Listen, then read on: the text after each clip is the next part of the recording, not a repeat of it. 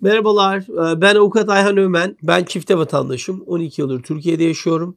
Serbest meslek sahibiyim. Tekrar Amerika'ya döndüğümde bir sıkıntı çıkar mı diye bize soruyor. Şimdi siz çifte vatandaş olduğunuz için Amerika'da yaşamanızı gerektiren bir durum yok. Yani illa Amerika'da yaşamak zorunda değilsiniz. Uzun süredir Türkiye'de yaşıyor olmanız Amerika'ya tekrar dönmek istemenize engel değil. Dolayısıyla Amerika'ya döndüğünüzde de herhangi bir sıkıntıyla karşı karşıya kalmayacaksınız. Bir tek etmeniz gereken nokta hani Türkiye'de bile yaşıyor olmuş olsanız bu kadar uzun süredir 12 yıldır önemli olan o sürelerde Amerika'daki vergi beyanlarınızı da yapıyor olmanız vatandaş olarak ve bu vergi beyanında da yabancı ülkedeki beyanınızın ne kadar olduğunu bildirmiş olmanızda fayda vardır deyip takipçimizin sorusunu cevaplamış olalım.